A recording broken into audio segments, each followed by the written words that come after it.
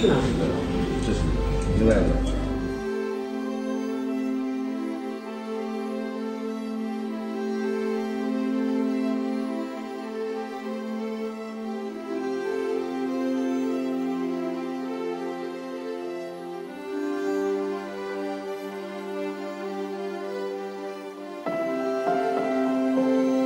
我们在手术过程当中，呃，探查双侧附件的时候，发现她双侧卵巢相当于四十多岁年龄卵巢大小，并没有像这种六十多岁的高龄卵巢已经萎缩，这也可能是她能够自然受孕的一个基础。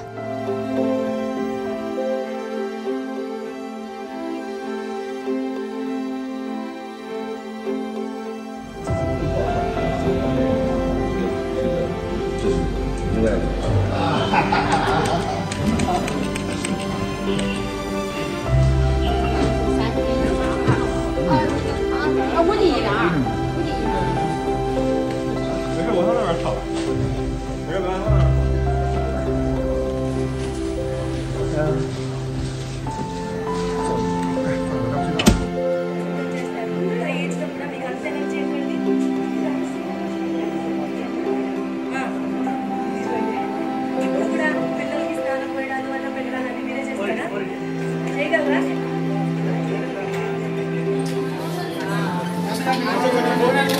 Thank you.